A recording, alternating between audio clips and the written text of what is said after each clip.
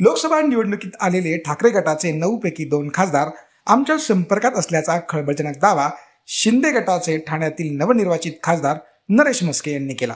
त्यांच्या या वक्तव्यावर प्रतिक्रिया देताना ठाकरे गटाच्या उपनेत्या सुषमा अंधारे यांनी म्हस्के यांचा चांगला समाचार घेतला.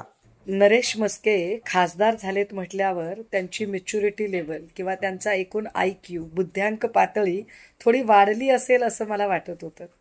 परंतु ज्या पद्धतीचे ते स्टेटमेंट करत आहेत त्यावरून अजूनही त्यांच्यातला तो जो थिल्लरपणा आणि छिचोर चाळे करण्याची जी वृत्ती आहे ती वृत्ती गेलेली दिसत नाही आहे मंत्रिमंडळामध्ये शिंदे गटाला एखादं मंत्रिपद मिळण्याची आशंका आहे आणि ते मंत्रिपद आपल्या पदरात पडावं यासाठी आदळापट करून वाटेल तो आक्रस्ताळेपणा किंचाळणे आरडाओरड करून काहीतरी न्यूसन्स व्हॅल्यू क्रिएट करून आपल्याकडे लक्ष वेधून घेण्याचा अत्यंत बालिश प्रयत्न नरेश मस्केंकडून चालू आहे.